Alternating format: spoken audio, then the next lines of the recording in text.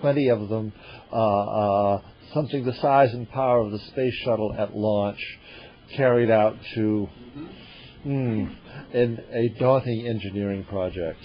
Uh, Absolutely. Does anybody know how much the space shuttle weighs?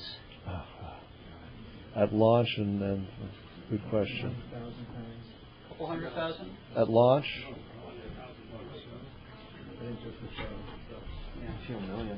If we knew the numbers, we could go through the math. The answer is it would take a lot of space shuttles, and we could work out how many if we remembered the mass of the space shuttle. Wouldn't it be more feasible to do a nuclear detonation in the area of the, of the thing, so that the shockwaves would push it away?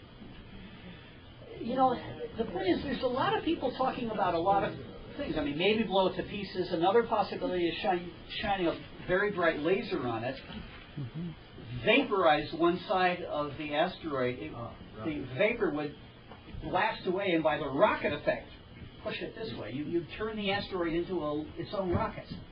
Uh, there's, there's a lot of possibilities that people talk about. Which is the best way to do it has not been worked out yet. All of them would be very expensive. And once again, all of them probably won't be necessary, but if they were, they'd be really necessary. Move the earth. Right. You know, I made a presenta- I made a presentation to a geology class about this, students said maybe it's easier to move the earth. Or, you know, among, just ro- change the rotation rate of the earth so it lands in the ocean instead of land. Right. You know, if it's a fairly small object, then it just makes a big splash. tsunami and wipes out every. Yeah, that's, that's a good point. In other words, how good is the science of knowing exactly where it's gonna hit on the earth? Because it'd be very easy for a bunch of people to get out of the way, right? I mean, you had a couple of years. How hard was it to evacuate New Orleans? Well, Yeah. Okay, okay, that's, that's the thing. If we knew exactly where the asteroid was now, Yeah, and exactly how fast it's going, we could predict to the inch where it would land. The problem is in knowing where it is now and how fast it's going now. That is something for the experts, for the people who track these orbits. The longer you observe an orbit, the more accurately you know the orbit. if you see a, a stone just flying overhead, if you just take a single snapshot of it, you maybe know where it is, but you don't know how fast it's going. You take two snapshots, then you get some estimate for its trajectory. You have to observe it for a long time before you know its path to high accuracy. So the answer is that it, it takes, you know, let's say many not weeks or something observation even to know that it's an Earth-crossing orbit. I'm willing to bet it takes months or many months to, to nail down the orbit to any degree of accuracy. It's not that our instruments are so crude, it's that you just need to work to track the orbit over a long way before you know what the orbit is. Uh, I sure don't know the details of that, but it would take a long time before we knew exactly where it was going to hit. And during that time, there'd be politicians. I mean, just imagine the uproar. You know, I mean, don't tell me that it's going to land in Kansas. That kind of thing. And persuading everybody to get out of the way. Where are you going to put them? New Orleans. I'm curious, is there any extension, because all the, most of these near-Earth asteroid searches are probably terrestrial? Oh yeah. Any plans for setting up like little hundred million dollar robot crafts to search? Um, my guess is it's much better to do it right here because uh, the, to to take a telescope and put it in the asteroid belt. Remember, the asteroid belt looks like this. Let's look at a picture of that.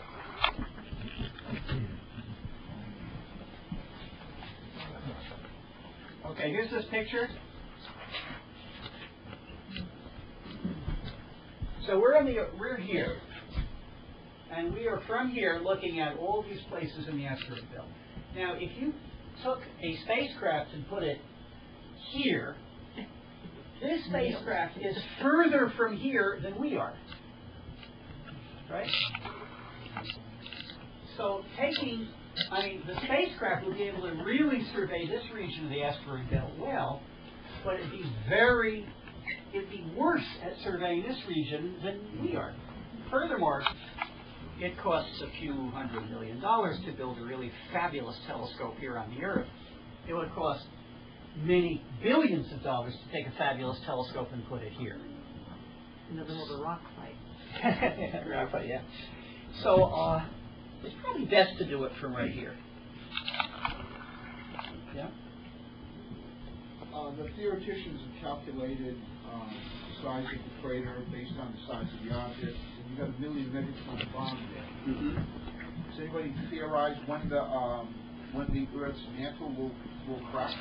You know, I mean, at Yeah. what point does an ob, how big does an object have to be to shatter the Earth's mantle? Yeah. You know, there's one of these. I don't know. There's one of these. No, no problem. Um, there's one of these asteroids that's been discovered in which sort of one half of it is a crater. You know, so there's something which is kind of like what you're talking about. Also, I have this vague memory that one of the theories of the formation of the Pacific Ocean is that it's the result of a really big impact during the formation of the Earth. Now, I don't know how big big was. But Also, a theory of the formation of the moon is that there was a collision with uh, Mercury size. okay. Near collision. It was before my time. Not you Charlie. You know, all the craters on the moon and all the.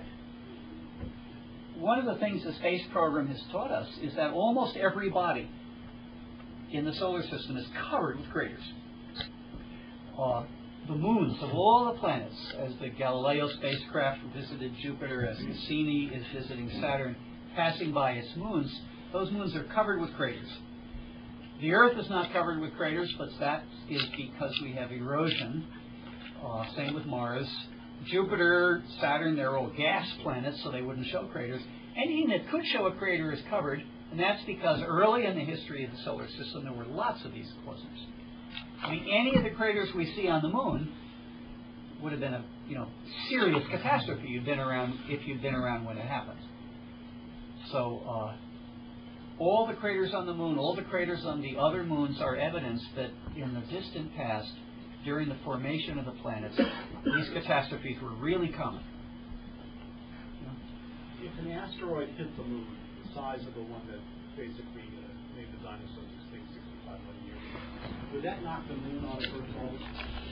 No, no, not big enough. Uh, it would alter its orbit. I don't think it would eject it from orbit. It, it might make it a little bit more elliptical, something like that, but it would not knock it out of orbit. No. Because if one of one that size hits roughly every 100 million years, mm-hmm. one would have thought that the moon would have been hit by some within its time frame as it's orbiting the Earth. Why is it still here? And that is the reason for my answer. The point is the moon is still here, therefore it doesn't. The point is that the moon is quite large compared to any of these things. So these things do not give a particularly large sideways blow to the planet. You know, they cause a lot of trouble to life on the planet, but they don't push the planet sideways. As a follow-up, are there any craters that we're aware of on the moon that were caused by something that size, basically? A one in 100 million year event? Oh, well, Oh, The Chicxulub crater is something like 100 kilometers across. The crater on the moon would be, well, you expect it to be a little bit smaller because gravity from the Earth was pulling that thing towards us. Gravity from the moon is weaker, so the velocity would have been less. So somewhat smaller crater, but still that's a pretty big. I mean, lots of the craters on the moon are that big. Lots of the craters on the moon are bigger than that. So